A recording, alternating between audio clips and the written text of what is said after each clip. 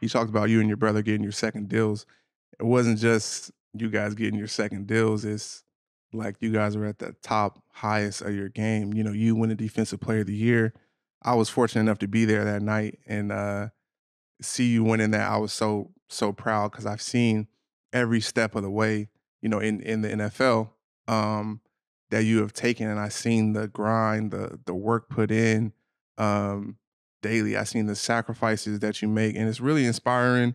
You know, a lot of times you inspire me um, to be a better version of myself with how how you approach uh, football and life, and um, you know the dedication that you have. And so I think a lot of people, you know, put those expectations, but um, you know, I didn't sign a, a contract like yours, but um, you know, I was, you know, the highest paid on the team on the defense at that time.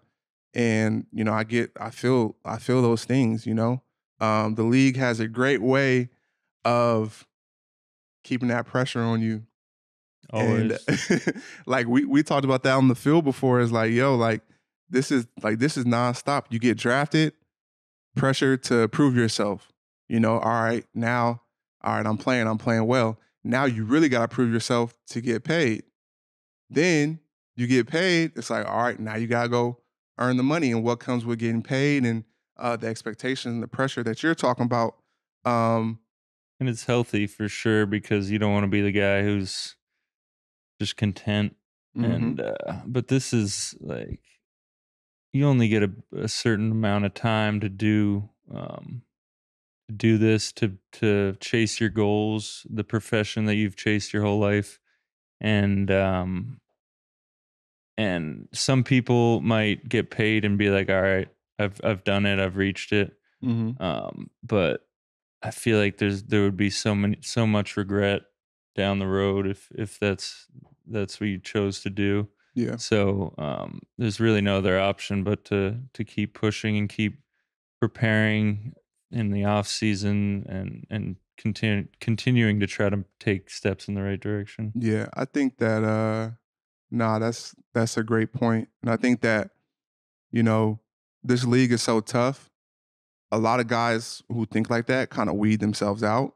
Mhm. And there are some guys who, you know, are just so talented that it just like, all right, you know, they, and they they have worked hard to a certain extent, obviously, but they are so talented and they get to that level, and it's like, man, uh, it's, I didn't really, you know, this just, I'm just, I'm just that good, and they don't necessarily appreciate it. But I think the guys, how how hard this league is, and everything you have to go through, um, you know, guys who think like that don't make it typically to that Yeah. level. And so those guys weed themselves out. And the guys who are there in that situation, a lot of that pressure comes internally too, because we truly want to be the best at what we do. And no one wants to be no has been. No one wants to be uh, a player that, you know, has um, you know, gotten in this situation and then just like, all right, whatever. And so I think that internal pressure is is healthy too, um, in the sense that you know you want the most out of your life and your opportunity, like you talked about, and the only way to get that is with hard work and sacrifice, and that's why I've seen from you, and I've been so proud of you, is I've seen that that sacrifice and that hard work, and you don't take it for granted when you put in all that work. You know what I'm saying? Yeah, yeah. Um, reaching the goals that I've I've reached in my career so far, um, like the amount of doubt that I've had throughout my career with the injuries and and just um, whatever times I haven't played well and all that stuff. At the end of the day, like the work that you put in pays off. Like, Mhm. you just have to trust the work because um, if you're thinking about the end result the whole time, you're not gonna you're not gonna get too far. You gotta just put your head down, do exactly what you've always done, and work your butt off, and um, and it will pay off in some way or another. It might not be exactly how you pictured the payoff, but Mhm. um, but I truly believe hard work pays off. So Yeah. Well, in your case, it was five years, 170 million. I think uh, that was pretty much what you imagined. uh, Definitely, no, but Definitely. no, but for real, I think like you, because that's what you can control. You can control your effort. Exactly. You can control. You can't control how you're perceived. A lot of times, you can't even control your production or what happens in the game, but you can control. Um, you can control how you prepare. You control the work you put in.